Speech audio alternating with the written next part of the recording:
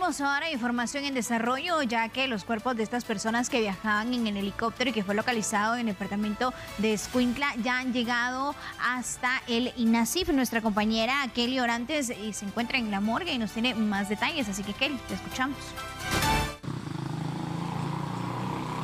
Los cuerpos del capitán Jorge Alberto Rodríguez y su acompañante Carlos Iván Jiménez García han ingresado al Instituto Nacional de Ciencias Forenses INACIF acá en la zona 3 capitalina. Televidentes, eh, compañeros en estudio, es importante mencionar que después de varias horas ya han sido trasladados los cuerpos y es que recordemos que pasado el mediodía, el ejército de Guatemala llevó los cadáveres a la Fuerza Aérea Guatemalteca en la zona 13, en donde el Ministerio Público realizó pues el primer eh, proceso para poder traerlos al INASIF. Además de esto, hay que mencionar que todo esto se da luego que ayer a eso pasado de las 4 de la tarde se informara sobre la desaparición del helicóptero. Ya se había perdido el contacto completamente y también se informaba que en el interior de esta aeronave iban dos tripulantes. Se comenzó a alertar sobre este hecho y hoy justamente el ejército de Guatemala en conjunto con los bomberos voluntarios, la Cruz Roja Guatemalteca y otras instituciones participaron en la búsqueda. La información era que habían salido de la ciudad de Guatemala con rumbo a Escuintla, entonces se hizo el rastreo en los alrededores y sí, efectivamente fue en ese departamento donde se localizó el helicóptero completamente destruido.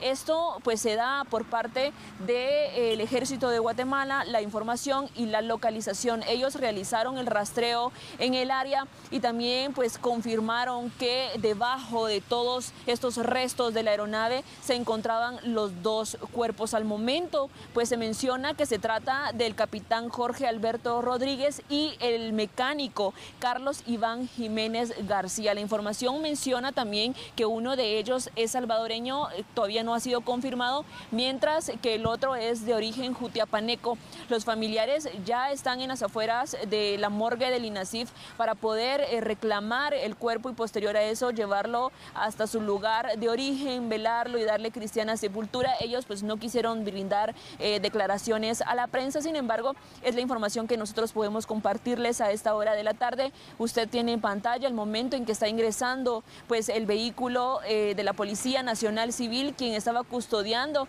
el carro que traía los dos cadáveres de estos dos tripulantes del helicóptero que pues se accidentó en el departamento de Escuinta. Al momento la información eh, que le compartimos desde la zona 3 capitalina, bien lo mencionaba anteriormente, y es que hay que destacar lo que solo en el mes de julio se registraron dos incidentes aéreos que han dejado a cuatro personas fallecidas. El primer caso se dio entre las primeras dos semanas de julio, dos personas murieron, en este caso era el piloto y su alumno, y ayer justamente terminando el mes se da a conocer sobre la desaparición del helicóptero y hoy cuando lo encuentran eh, pues los elementos castrenses también se confirma la muerte de estos dos hombres adultos. Son los detalles en cámara Francisco Pérez, regresó al estudio principal.